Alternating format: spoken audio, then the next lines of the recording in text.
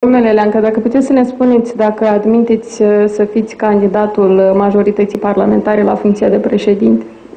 Speranța mea ați adresat această întrebare din momentul în care mi-ați adresat acum câteva zile în urmă, nu s-a schimbat nimic. Sunt candidatul Partidul Popular European din Moldova pentru această funcție.